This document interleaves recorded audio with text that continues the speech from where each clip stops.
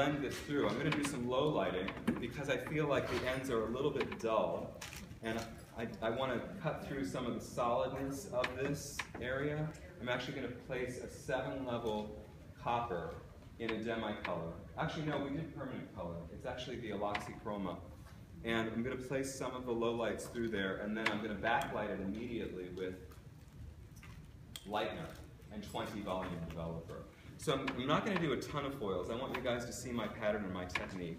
I'm going to actually clip the top. Oh yeah, go ahead, Flo. We're going to drape her.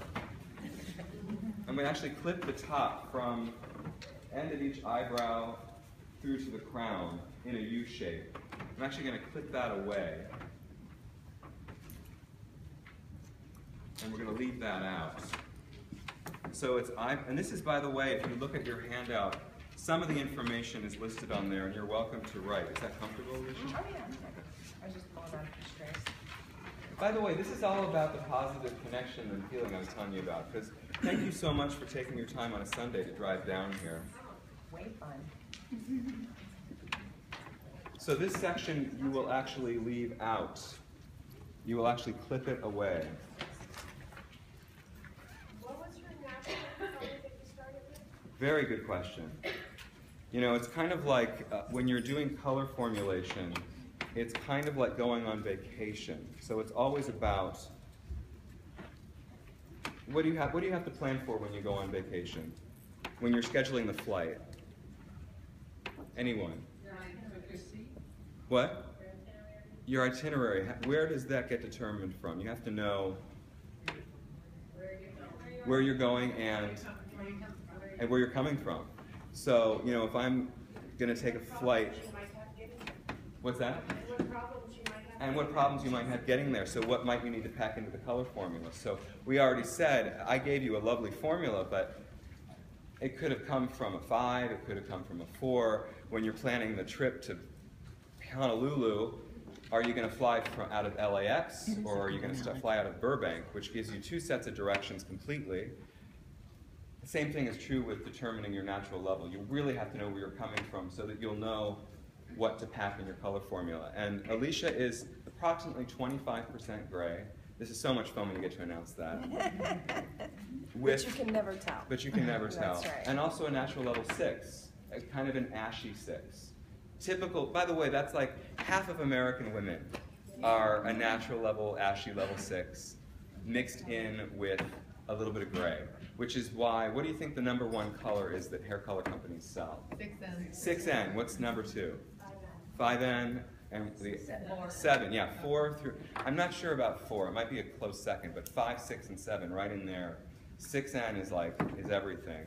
So I did want to include some natural, that's why I did a third of the formula in natural, and all that did was, a, was to compensate for the 25% gray. And then the gold and the red that I placed in the formula, that's really what gave me the tone. So uh, my desired level was, her natural level was six, desired level was a six, desired tone was a golden reddish brown. And then what you said, what did you say about when you travel, you have to, What problems you might have getting there. right, so you have to know what, how much gas you're gonna need, so if you're gonna drive. So that, that developer is your gas. And so I used 20 volume because we were level on level. If you, if I were to use a 15 volume, which is equal parts of 10 and 20, it would have gone a little bit deeper and cooler.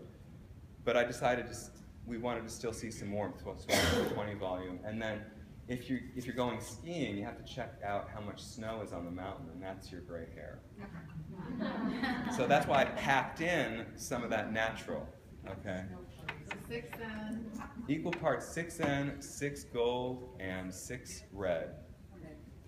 Actually, you know what? Would you stand up for me for a minute? I'm sorry. Let's let's have a seat this way. Okay. I won't diss you guys. I'm going to start applying on this side for this area, and then we'll switch to the other side, okay? So you clipped up the U-shaped eyebrow to eyebrow, and now what I'm going to do is you can almost see where the hair wants to kind of part. That's another thing, is coloring the hair according to the way the hair grows. What a concept. Just like with hair cutting, and also standing in front of your section, and all the same things apply with coloring, especially with foil placement or even with balayage. So I'm going to see where she naturally kind of parts, and I'm not going to foil right on the top here. Why is that? Because I don't want to see that foil right at the crown of her head. I want to leave some hair on top. You see what I'm saying? And I'm going to put the foil in at a diagonal or working with the round of the head. I'm going to go with the guide, my guideline is the hairline, is the temple. So I'm starting here at a diagonal. I'm going to go in and do a low light to blend through that base. I guess I can go this way. Thanks, Flip.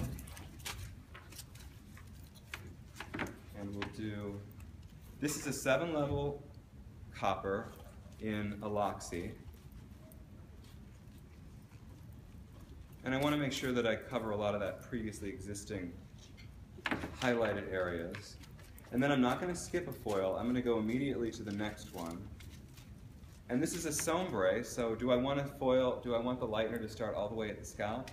No, not necessarily. I'd say two to three inches away from the scalp, depending on your desired look, is a good idea. So I'm going to go in at a diagonal. I, I want it to be kind of jaggedy, so that it's not super solid on the line. And going to get through the ends, because I do kind of want the ends to pop a little bit. You can either use a separate foil if you like to put on top so that this doesn't blend to the top, or you can take this one and just do that. I just kind of want to, this is a sombré, it's softened down, so I just kind of want to like tickle the ends, how do you like that, with a little red and a little lightener so that it's not so solid red and light. And I'm going to skip about half an inch. Working in the same guide. Remember, my guide. Eventually, my guideline. I'm going to be standing right here,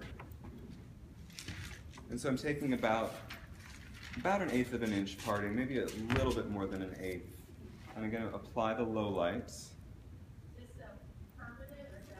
Yeah, you know that's a good question. Um, there's a lot of choices we can make with reds. And if you're concerned about the condition or the quality or the integrity of the client's hair, you might consider using a demi-color. Alicia's hair has proven over the years pretty healthy.